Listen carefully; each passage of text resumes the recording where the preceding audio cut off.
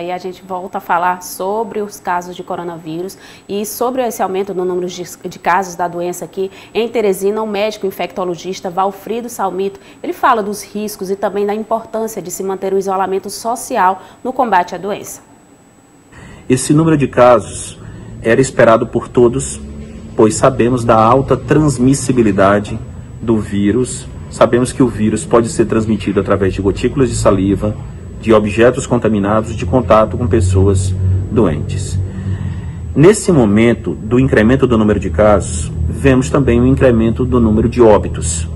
E isso nos faz recomendar, neste momento, que mantenhamos o isolamento social, pois é a única arma efetivamente disponível para a gente ter o menor número de pacientes doentes e para que o nosso serviço de saúde consiga se estruturar de uma maneira tal que todas as pessoas possam ser atendidas adequadamente.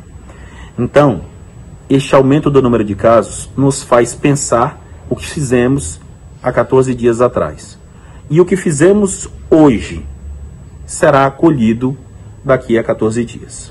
Então a gente sabe que se fizermos o isolamento social adequadamente, com níveis um pouco maiores ao que está sendo feito, de 60%, 70%, que é o ideal, teremos um número consideravelmente menor de casos da Covid-19 e, por consequência, teremos um número bem menor de óbitos.